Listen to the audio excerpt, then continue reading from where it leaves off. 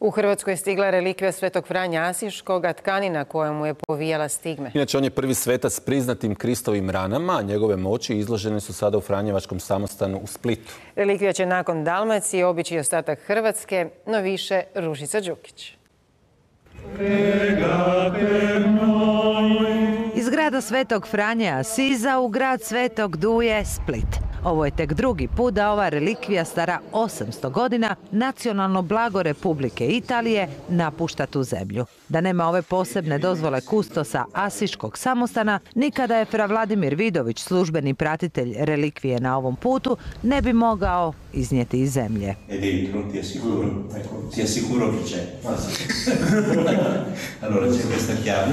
Chiave, si apre la porticina e si...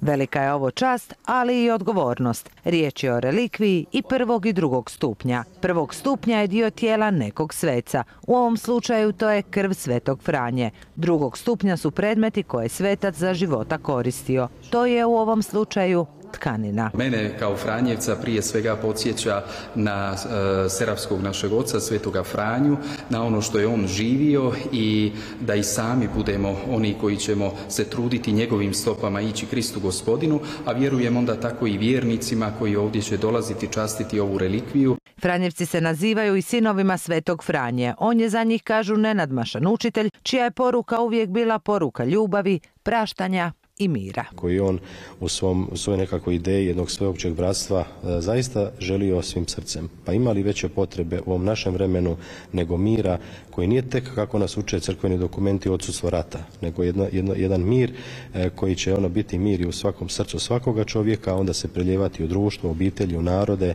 e, u, u kompletno dakle čitav svijet. Sveti Franjo ili Frane, kako ga nazivamo u Dalmaciji, u stvari se u nju, kažu Franjevci, na neki način vraća. Postoje zapisi da je u Dalmaciji za života bio. Zaštitnik je siromašnih kao i cijele prirode i svega stvorenog. Koji nije gledao razliku između stvorenja, jednako je doživljavao sve ljude, sve dakle sva Božja stvorenja. E tu nam Sveti Franjo veliki nenadmašan učitelj.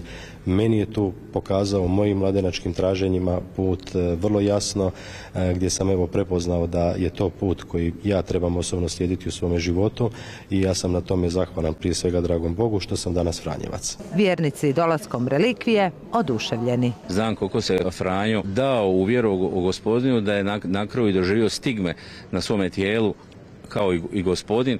Rane su bile, bile bolne i ovaj, suosjećamo s njime, tako da ova relikvija krpa koja je bila na tim ranama za nas stvarno ima veliku težinu. Ovo je danas poseban dan jer e, svetac je tu među nama, on je živ i on nas poziva da mi dođemo i da se otvorimo i da svoje srce prepustimo njemu. Ova relikvija mnogima omiljenog sveca boravit će u raznim dijelovima naše zemlje sljedeća dva tjedna.